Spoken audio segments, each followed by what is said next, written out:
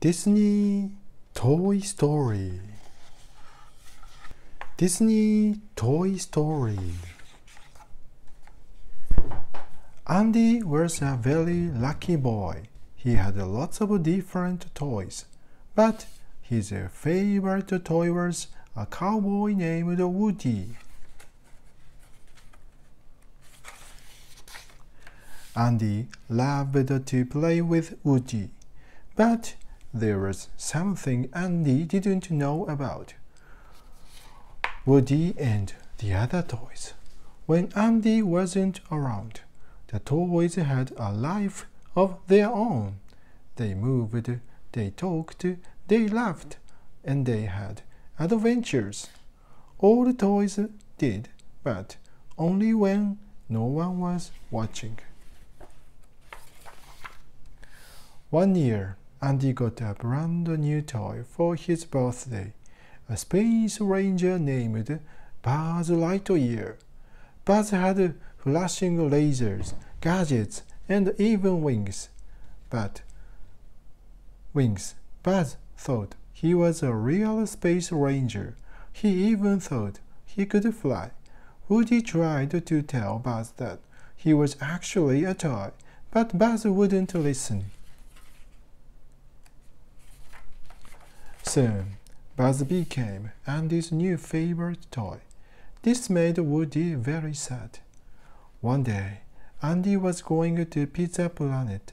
His mom told him he could bring just one toy. Woody wanted to go. He tried to shove Buzz aside, but he accidentally pushed Buzz out Andy's bedroom window instead.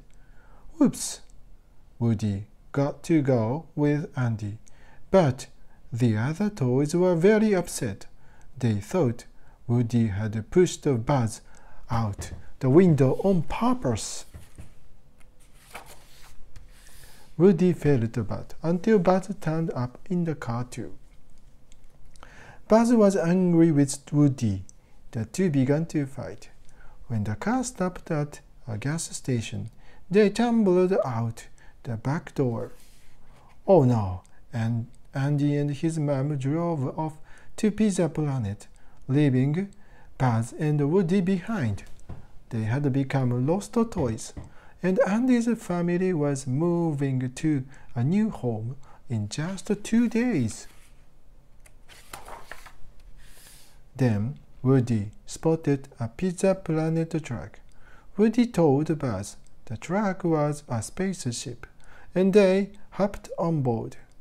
Buzz insisted on riding up front. Luckily, a stack of pizza boxes kept him hidden from the driver. At Pizza Planet, Buzz climbed into a claw game filled with toy aliens. Buzz thought the game was a spaceship. Woody tried to get Buzz out, but soon they were both trapped. Oh no, Andy's mean neighbor Sid captured Buzz and Woody. Sid loved to torture toys. Woody and Buzz were in trouble. Sid took Buzz and Woody home with him. Sid's room was full of mutant toys. He had created them by combining different toy parts in strange ways, and now he had evil plans for Buzz and Woody. They had to escape. Buzz tried to fly out of Sid's house, but he fell. He finally realized that Woody was right. He wasn't a real space ranger. He was only a toy. Sid strapped a rocket to Buzz. He planned to blow Buzz to pieces. Buzz and Woody had to work together if they were going to escape. But Buzz didn't want to escape. He felt sad because he wasn't a real space ranger. Woody helped Buzz understand that Andy loved him and that being a toy was very important. And before they knew it, Buzz and Woody had become friends. Woody came up with a plan to save Buzz. He asked Sid's toys to help. Just as Sid was about to blow Woody up, blow Buzz up, Woody and the mutant toys came to life. Sid was terrified. He screamed and ran away.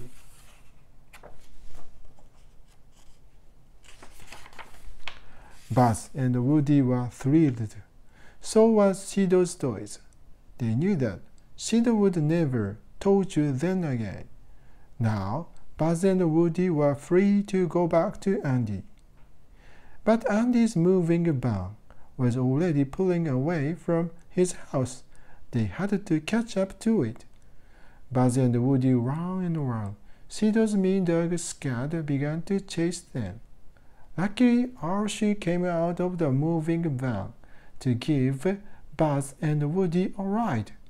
They thought they were home free until RC's batteries began to run down. Then they remembered that Buzz still had Sid's rocket strapped to, to his back. Woody launched it. Whoosh! Buzz. Woody and RC flew through the air. RC landed safely in the back of the moving van. But Buzz and Woody kept going. Buzz popped open his wings.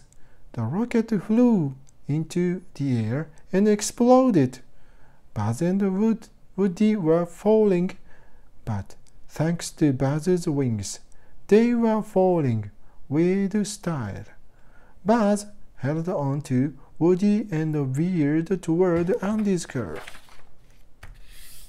Buzz and Woody glided through the car's sunroof and plopped down next to Andy, right where they belonged.